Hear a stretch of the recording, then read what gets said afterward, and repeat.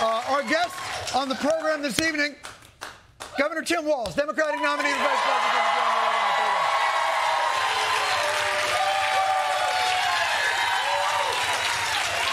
But first, it's just two weeks until the election, and I'm going to say this I don't like it.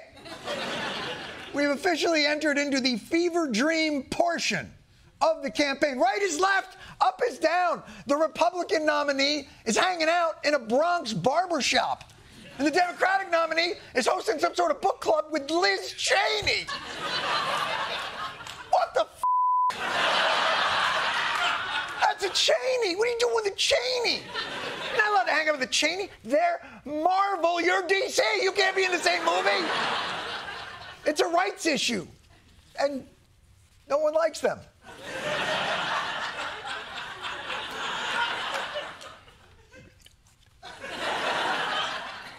And here's the worst part the Cheneys have somehow synced up their circuitry directly to the Madam Vice President, like right at the same time they cross their legs.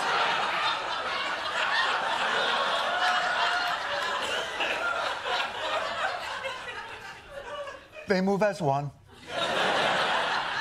It is so surreal. This campaign cannot get any weirder. Hello, everybody. Sir. My first day at McDonald's. I'm looking for a job. So, if you don't mind, I want to work the French fry counter.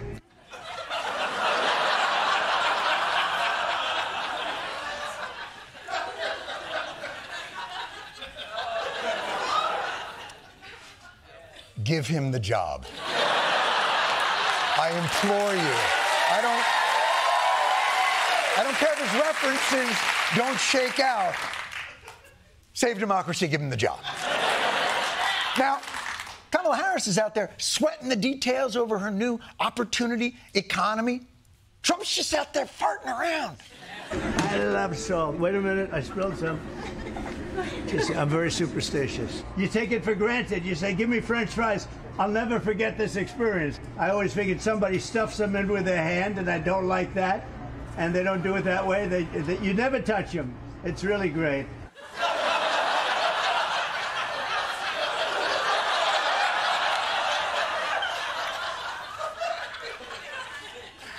You f- Forrest Gump? What are we talking about here? For decades that you've been eating at McDonald's, you thought the fries come out of the boiling oil. and the workers making that sweet, sweet 425 an hour just reach in and go, ah! ah! Just with their hands. Well, you think that's how the burgers get flipped? Ah! Ah! Oh God, someone order ice cream. Oh! That's his whole campaign right now. Ave Maria dance party. I'm going to deport everybody. Football, tailgate, blame the Jews if I lose. McDonald's drive through. He's out there having the time of his life. And the poor, sweet media. Oh, poor, sweet media. They know they're mad. They're just not exactly sure which thing they should be maddest about anymore. But I can tell you one thing, media, it probably shouldn't be the McDonald's thing. This was entirely staged. My there fault. was a fake customer. Yes. He is so inept at pretending to be a real person that he really literally cannot operate the fry machine as a normal worker because he would be incapable of doing so.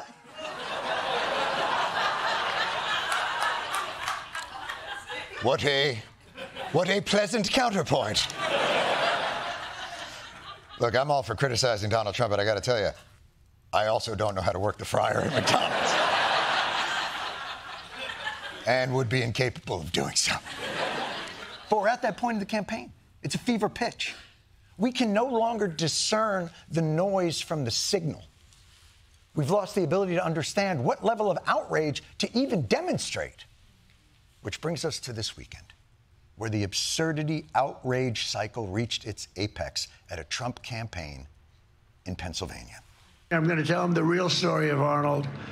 But Arnold Palmer was all man, and I say that in all due respect to women, and I love women. But this guy, this guy, this is a guy that was all man. This man was strong and tough. And I refuse to say it, but when he took showers with the other pros, they came out of there, they said, Oh my God. That's unbelievable.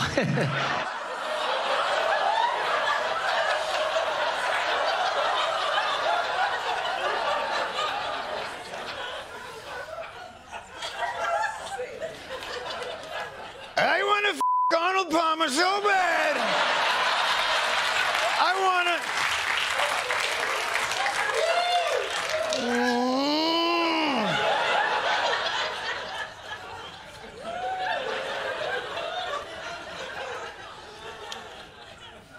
First of all, I'm not here to fact check the former president. But Arnold Palmer was an all man. He was half man, half lemonade. Now, if I may. None of that is true. But it is true. Apparently, every time Arnold Palmer came out of the shower, the other golfers were like, Ooh, talk about a dog leg.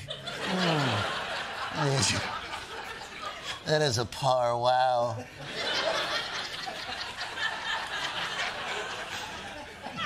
You're gonna need a caddy for.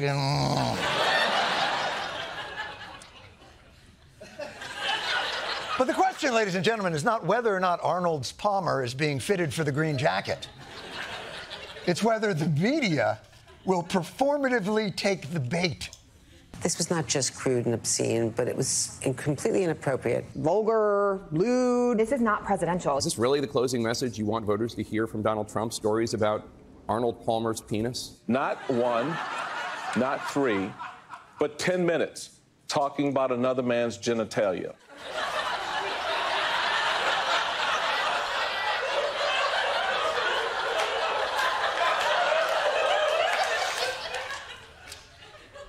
It's very serious. I apologize. That's. What is the appropriate amount of time? Three minutes I can understand. Ten minutes, eh, it's a you problem. But I do get there is a double standard at play. You imagine if Kamala Harris held a rally and like, Billie Jean King, her vagina, wow. She'd come out of the shower and all the other tennis players would shout, hello, hello, hello.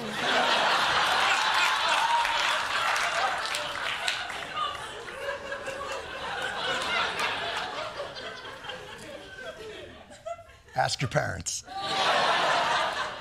That would be madness.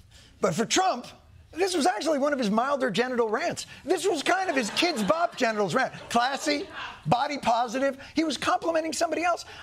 I don't know why we have to parse everything that this guy says so sternly. We have two enemies. We have the outside enemy, and then we have the enemy from within. And the enemy from within, in my opinion, is more dangerous than China, Russia, and all these countries. Hey, who wants fries? On Arnold Palmer's. We have some very bad people. We have some sick people, radical left lunatics. And I think they're the, and, and it should be very easily handled by, if necessary, by National Guard, or if really necessary, by the military. You, you, you're not fun at all. That's not fun loving and mischievous. That sounded quite threatening. That's actually worthy of some real examination. And all the Republicans who have talked about having fun at Trump's rallies, I'm sure they'd express concerns about this type of rhetoric. What I want to just make very clear is that it's my belief that what uh, former President Trump is talking about are the people that are coming over the border, that in fact are committing crimes, that are bringing drugs, that are trafficking humans. That is what I believe the president is referring to. I don't think that he's referring to elected people in, in, in, in America. Oh, all right, good, because I, okay. Okay, because I was worried. Because it did sound bad the way that, that he had said it. I probably wasn't thinking clearly, you know, but Just to make sure that that is what he meant, let's give the former president himself a chance to clear up that he's really talking about drug and human traffickers coming across the border and obviously not elected officials. Adam Shifty Schiff, who's a total sleazebag, is going to become a senator. But I call him the enemy from within. But just just shifty Schiff, right?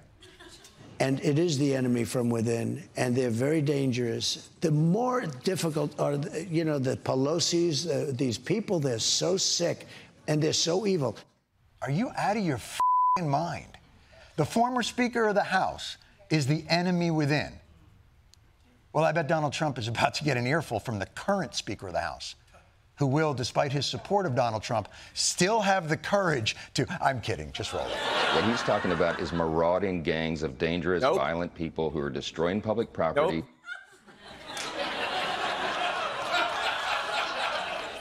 Ah, yes. Adam Schiff and Nancy Pelosi, famous capos in the Salvadoran gang, MS NBC. Where's the We the People Constitution First outrage here?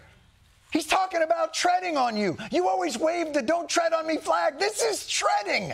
You are a decorated veteran. How would you feel about deploying against Adam Schiff? Well, I don't think that's what he said, Jon. I think you're connecting some some dots there. It's exactly what he said. Not dots, words. We're connecting words through the ear holes with the listening. That's what he said. I understand the powerful pull of partisanship, but for my own fing sanity, can I get one Republican to at least acknowledge that Trump said the thing that he is repeatedly saying? Look, uh, Trump speaks in hyperbole. This is nothing new.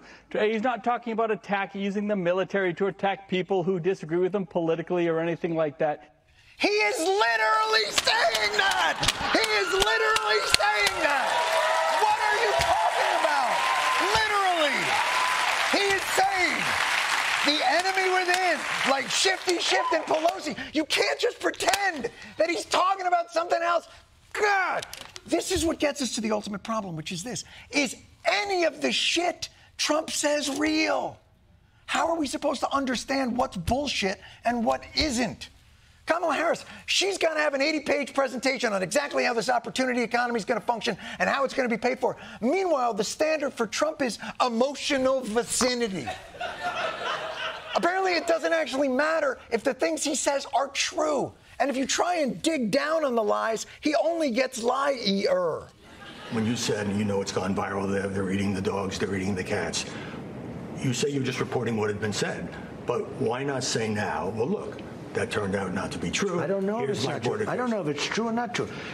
I read Eating something. the pets, you don't know if it's true or not true? It's been debunked by well, local they say, what about the goose, the geese? What about the geese? What happened there? They, they were all missing.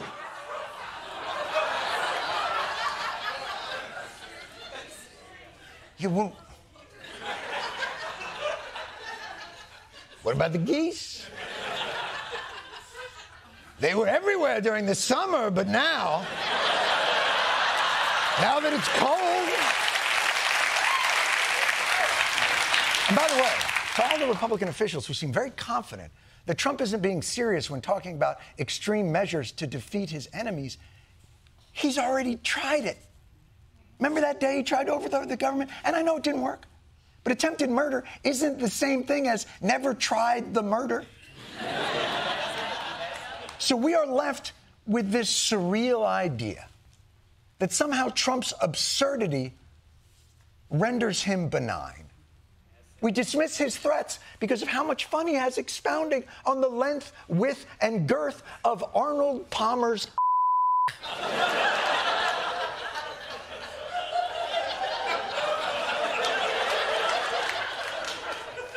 If only there was one dystopian moment from this past weekend that encapsulates this potent tincture of clownish campaigning mixed with authoritarian foreboding. Because I know shorter clips do better on the TikTok. Give me, oh, I don't know, a man in an apron at a drive through window thoughtfully considering whether or not to future coup. Talking to reporters, Trump was asked about accepting the 2024 election results. Either way, will you accept the results of the election? Yeah, sure. If it's a fair election, always. I would always accept it if it's a, it's got to be a fair election.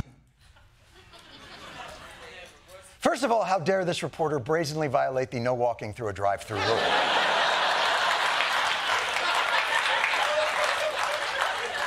and second, how the f- is Donald Trump in a McDonald's apron in the window of the fast food restaurant talking about whether or not he'll overturn the popular vote real life? How is this real?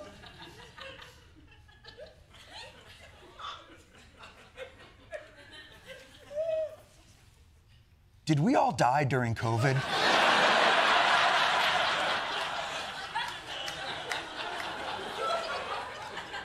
And is this some strange, surreal purgatory? Or maybe AI has already sucked up the sum total of human achievement and endeavors, and what we're all experiencing are merely the crumbs and detritus of human existence that AI thought was just too weird to vacuum up. or maybe it's a dream. Maybe I'm in your dream or you're in my dream. I just, I have to wake myself up. I, wake up, Jon, wake, wake up, wake up. oh God. Ah, this is the weirdest dream. It, Donald Trump was dancing on stage Ave Maria, just swaying. Then he was making fries in a McDonald's and running for president. I mean, honey, that's. Oh. They're eating the dogs. They're eating the cats. No!